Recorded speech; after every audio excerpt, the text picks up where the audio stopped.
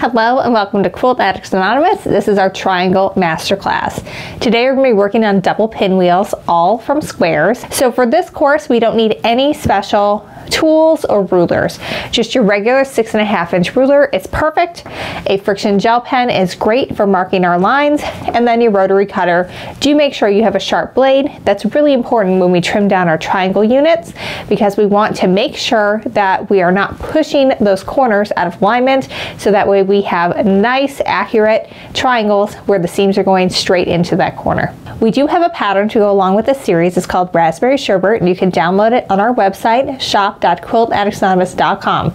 If you get a kit to go with it while supplies last, you'll be able to grab that for free. Also, make sure you like and subscribe here on YouTube, and if you subscribe to our email list on our website, you can save 10% on your first order, including the supplies you need for this masterclass. We're starting each lesson talking a little bit about math.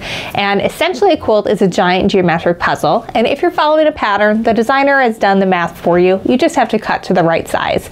But if you're converting instructions of doing this a regular way without starting as squares, then uh, you'll need to do this math yourself. Or if you're designing your own or resizing something, this is good to know. So what we need in order to make two double pinwheels. We need one fat quarter square that is one and a quarter inches larger than the finished size of our block, one background square that is one and a quarter inches larger than the finished size of our block, and then one fat quarter square that is one inch larger than our finished block. And this will make uh, two of these for us. And it's really, really fun. So for this one, uh, it, it's a little weird and you definitely want to make sure you keep things separate because there is not not a lot of difference between the size, in this case, of our five inch square and our five and a quarter inch square. So you really wanna make sure that you're working with the right size piece. What I like to do is just label them with Post-its and keep them in a Ziploc bag to keep everything nice and separate. All right, so we don't need our five inch square, that's the smaller of the two right now. So I'm just gonna set that to the side. So I'm gonna start by marking a line going straight down my block and I want it to go straight into those points so that I can really follow that when we are sewing these. As what we're gonna do is we're gonna sew down one side of the seam and then sew down the other. Typically what we do is we line up our quarter inch seam with the edge of our unit, but when we do this, we line up our quarter inch seam with the center. Now we went over this in detail in the first lesson in this master class on half square triangles. So if you haven't watched it, go check it out. We'll link it in the eye above and we'll also have the playlist where you can watch that as well. So uh, what I'm going to do next is I'm going to line these up right sides together with the other five and a quarter. So this is the one that is one and a quarter inches larger than our finished size. We're starting with those. It's because it's going to get sewn a couple of times so it gets a little smaller each time. All right, now I'm not gonna pin this, but you certainly can pin across the seam on the top and on the bottom.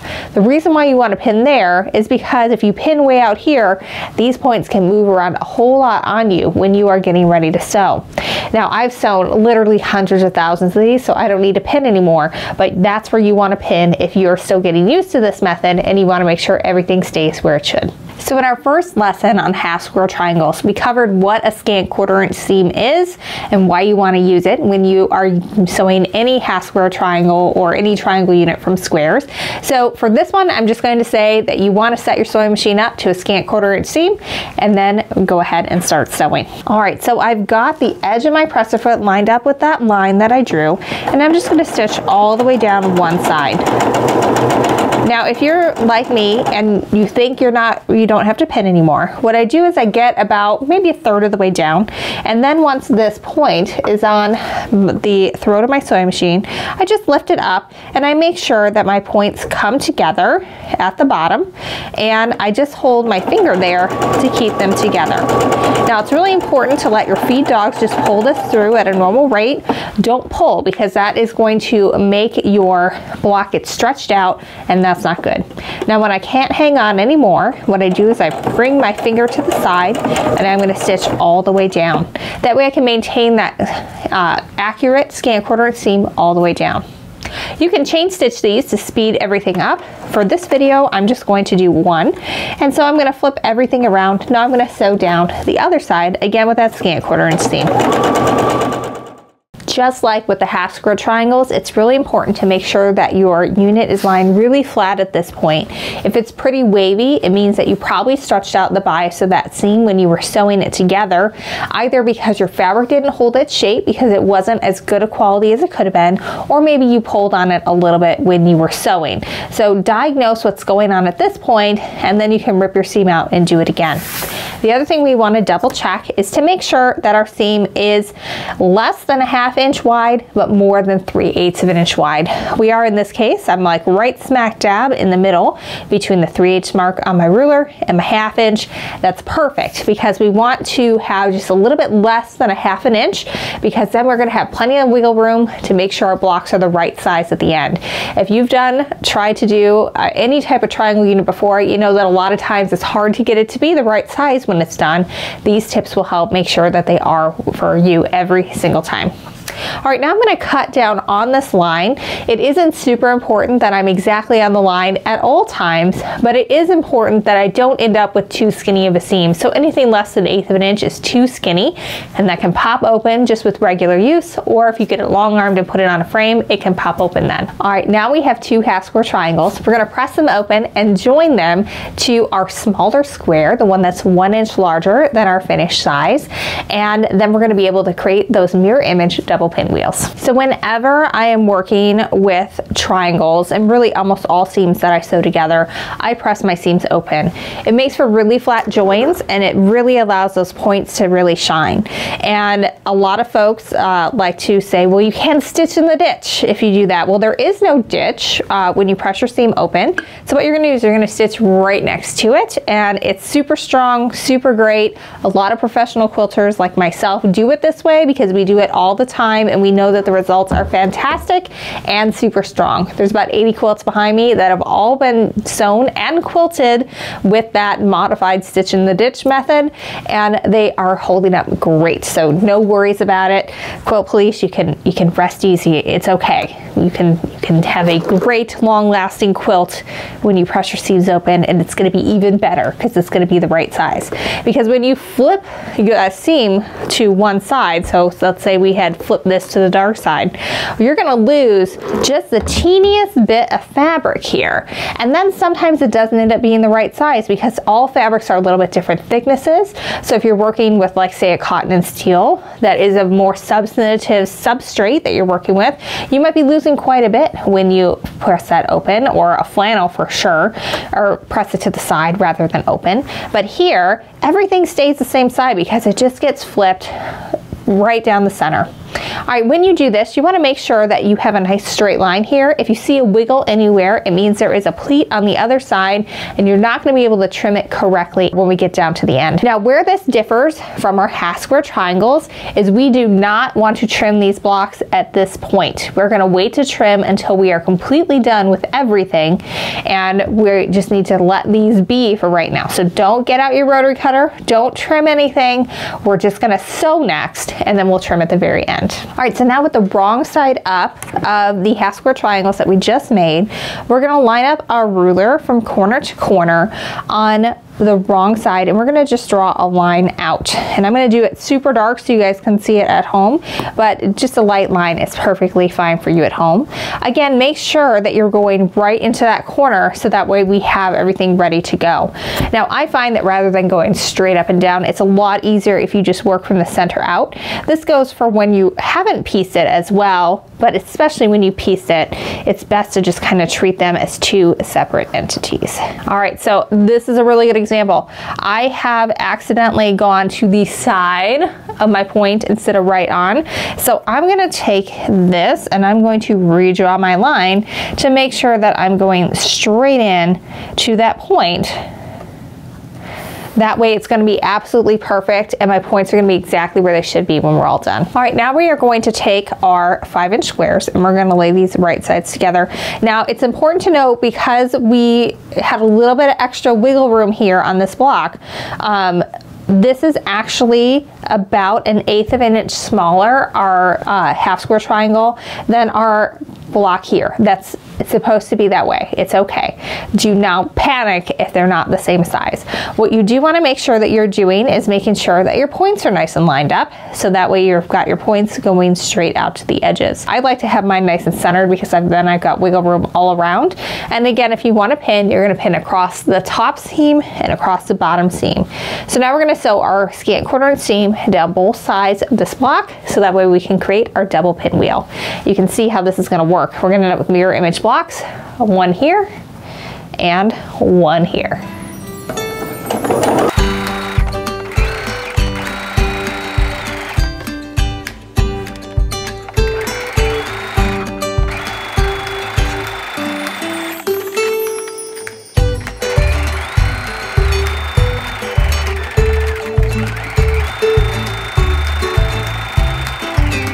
All right, so just like before, we wanna make sure that our blocks are lying nice and flat to make sure we haven't stretched out that bias seam. You also wanna give it a good check, make sure that your seam allowance looks good. In this case, we're a little bit less than half an inch, which is perfect, but more than 3 eighths. That you don't have to do this forever and always, but when you're first getting started, definitely check a few, like maybe a few from the top of your stack, a few from the middle, a few from the end. If you are consistent through all of them and they are where they should be, then you're probably good to go. If you are consistently off, then your triangles are not gonna turn out the right size. You're gonna wanna do that again.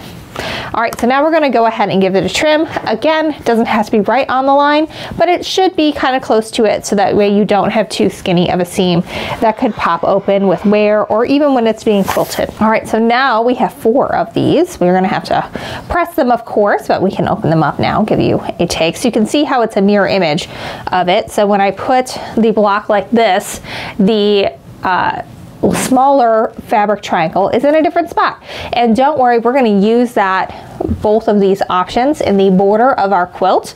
But uh, if you are doing this for just a regular old design, half of your blocks are gonna be usable, the other half are gonna be bonus for another project that you do at some point down the line. So I'm gonna press these open and then we're gonna get them trimmed and sorted. So just like before, we're gonna give this a press and make sure all our seams are nice and open. You do wanna make sure you're lifting and pressing when we get to this seam because we don't wanna accidentally press it going the other way. That would not be very fun. All right, so I always like to press from both sides. First press open and then get it good from the other side. And this is just laying super, super flat. It looks fabulous. I'm gonna do all the others, then we're ready to trim.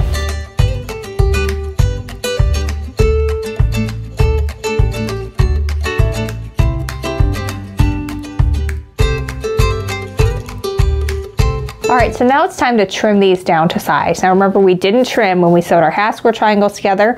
We're gonna do it all at once here, so that way we've got the maximum amount to make sure we have blocks that end up the correct size when we're all done. All right, so the first thing I'm going to do is I'm going to line that 45 degree line up with that seam allowance. Now, one other thing I'm gonna make sure I'm doing, and it, it kind of takes a little bit of getting used to because you can't just move your ruler over to make it work. You've got to move it along the diagonal to keep that 45 degree line. But I want to get this four and a half inch mark so that it is exactly even where this seam comes out because we want it to be right in the corner of where we're going to be.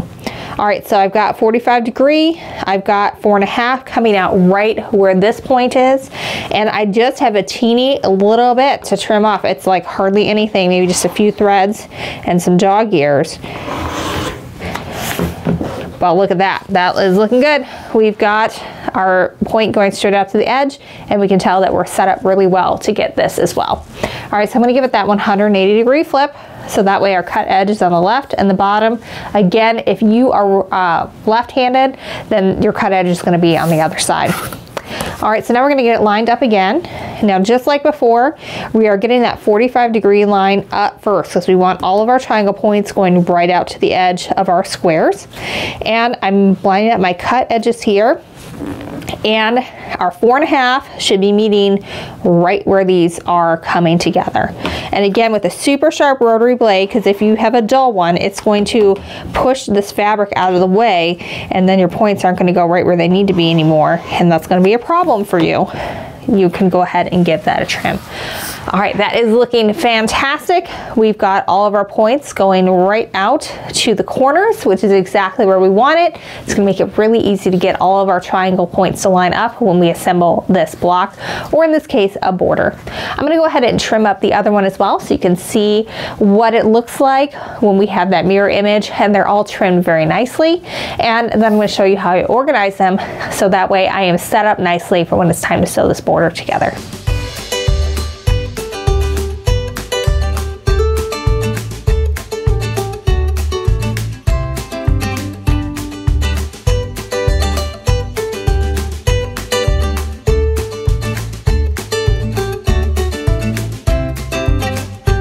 All right, so there's one final thing I do, and typically I do this as I'm trimming the blocks down, is I'm going to organize these based on where the triangles are that are fat quarters. So we have, I'm putting the large triangle in the same bottom right corner here.